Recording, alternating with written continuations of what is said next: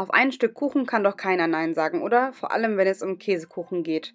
Heute habe ich einen klassischen Käsekuchen mit Erdbeeren für euch.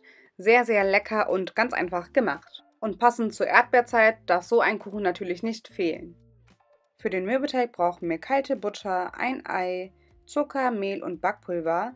Aus diesen Zutaten einen Mürbeteig kneten und diesen dann gleichmäßig in einer mit Backpapier ausgelegten Springform verteilen und bis an den Rand etwa 3 cm hochziehen.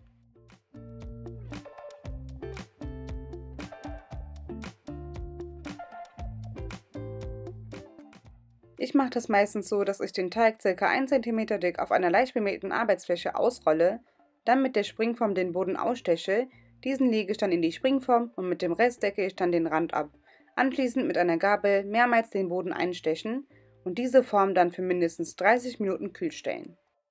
Am Ende der Kühlzeit den Backofen auf 180 Grad Ober- und Unterhitze vorheizen und in einem Backofen geeigneten Behälter Wasser auffüllen und diese dann in den Backofen auf den Boden legen.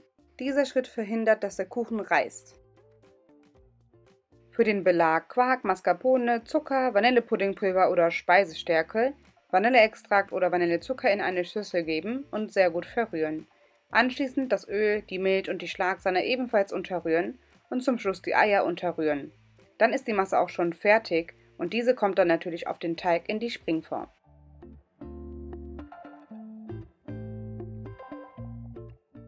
Dann kommt der Kuchen von unten auf die zweite Schiene von dem Backofen und wird ca. 75 Minuten gebacken. Nach der Backzeit den Ofen ausschalten und die Ofentür halb öffnen und den Käsekuchen darin mindestens 30 Minuten ruhen lassen. Anschließend rausholen und für ca. 5 Stunden oder besser über Nacht kühl stellen.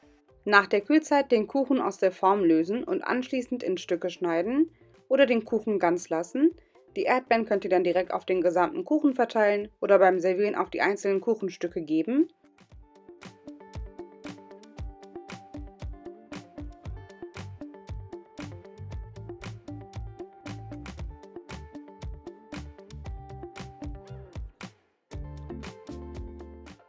Für die Erdbeersoße brauchen wir Erdbeeren, etwas Wasser und Zucker.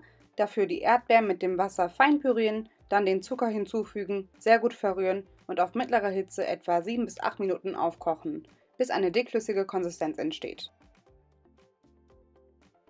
Dann den Käsekuchen mit der Erdbeersoße garnieren. Hierbei könnt ihr die Soße auf den gesamten Kuchen geben oder wie gesagt auf die einzelnen Kuchenstücke.